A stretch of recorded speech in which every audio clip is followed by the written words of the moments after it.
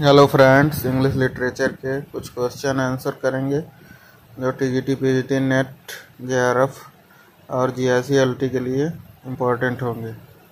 First question है Dryden's school of poetry is also known as the correct school of poetry Dryden का जो school of poetry है वो, उसको दूसरे नाम the correct school of poetry से भी जाना जाता है।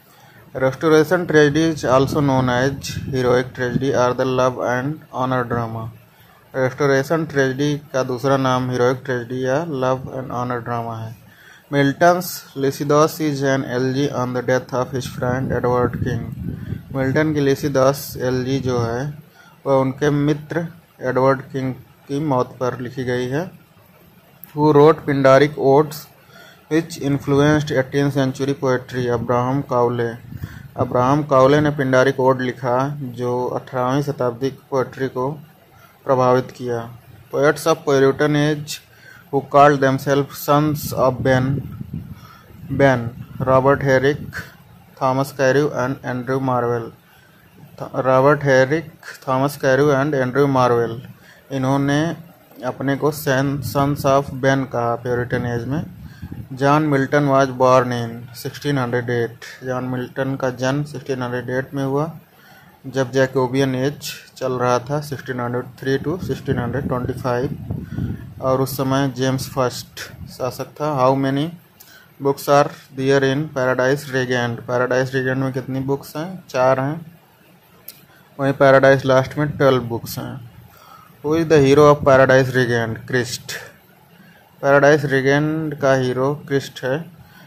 What is the theme of Paradise Regained the temptation of Jesus Christ Jesus Christ का टेम्पटेशन पैराडाइज रिगेंड की थीम है।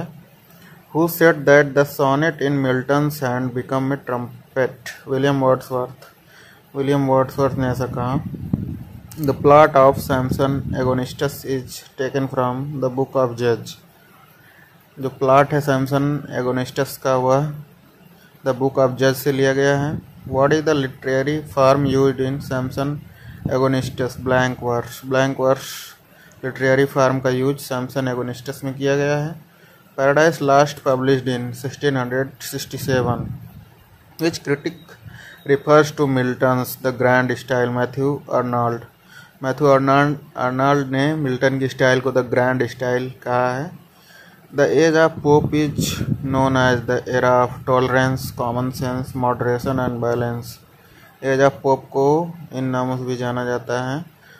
Era of tolerance, common sense, moderation and balance.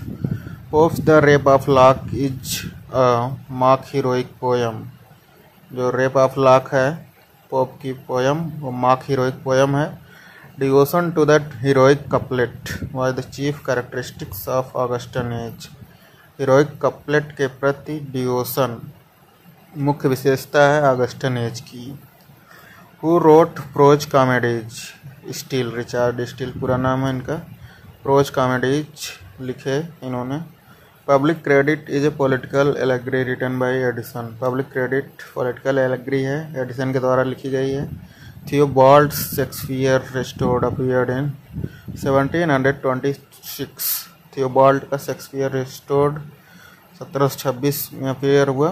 The family reunion is written by Thomas Stearns Eliot T S Eliot the sentimental comedy was a reaction against comedy of manners comedy of manners के against reaction sentimental comedy थी is considered to be the first of the women novelist? Frances Burney Frances Burney पहली महिला मानी जाती हैं, जो उपन्यासकार हैं। वुमेन नावलिस्ट, उनमें first. John Philips, the splendid shilling is a parody of the style of Milton's, Paradise Lost. John Philips का द स्प्लेंडेड सीलिंग, एक पैरोडी है, मिल्टन पैराडाइज लॉस्ट पर। Wordsworth Prelude is an autobiographical poem. Autobiographical poem है prelude Wordsworth की।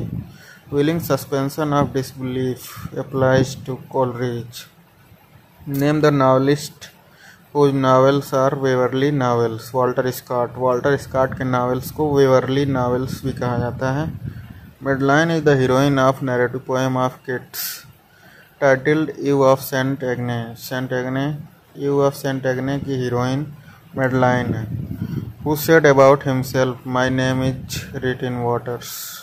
Keats Keats ने अपने बारे में कहा my name is writ in waters Shelley's death was caused by drowning Shelley की मौत का कारण डूबना था, यानी वो डूब कर मरे थे पानी में. Thank you